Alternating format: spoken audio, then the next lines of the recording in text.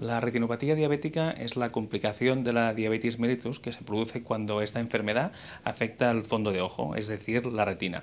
En esta situación, los pequeños vasos sanguíneos de la retina se alteran, eh, produciéndose un aumento de la permeabilidad, es decir, salida de líquido y de proteínas de estos vasos que se depositan en, el tejido de la retina, produciéndose también hemorragias en, estas localizaciones y, por último, isquemia, es decir, cierre de estos vasos que pierden el, riesgo, el riego sanguíneo.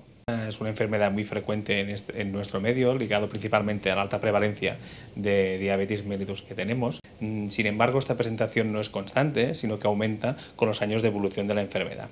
De esta forma, pacientes con más de 20 años de evolución de la diabetes mellitus mm, tienen un riesgo de presentar retinopatía diabética superior al 70%. Mm, finalmente, hay que destacar que la retinopatía diabética es la primera causa de ceguera en nuestro medio en adultos en edad laboral. El paciente, en la mayoría de los casos, no nota eh, mm, afectación hasta en estadios más avanzados de la retinopatía diabética. Eh, uno de los síntomas principales es la pérdida de visión, pero en muchos casos lo notan en forma de visión borrosa o pérdida de la claridad de la visión. Es en estos casos cuando tenemos, tenemos edema macular diabético. En otros casos puede ser, puede ser una pérdida brusca de visión cuando estamos en estadios más avanzados de la retinopatía diabética, la forma proliferativa, los factores de riesgo de la retinopatía diabética los podemos dividir en aquellos que no son modificables, como es eh, la duración de la diabetes, y esto no es modificable, igual que la edad o igual como la predisposición genética que es inherente en cada paciente.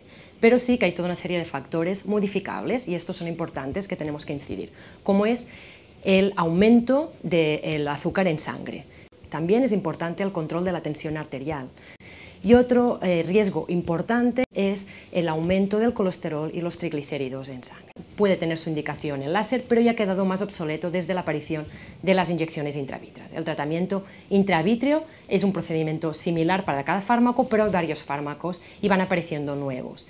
Los fármacos más importantes que tenemos son aquellos que cierran los vasos que producen el líquido en la mácula y luego tenemos el corticoide cuando el edema macular es más de tipo inflamatorio. Se puede retrasar la aparición o prevenir las formas más graves de proliferación de la retinopatía diabética, siempre llevando un buen control de la diabetes mellitus. Ah, es muy importante eh, evitar el hábito tabáquico, así como realizar los controles periódicos con el oftalmólogo u oftalmóloga de referencia. Una persona con retinopatía diabética puede llevar una vida normal, pero siempre teniendo en cuenta los hábitos de vida y los cuidados que requiere una persona con diabetes.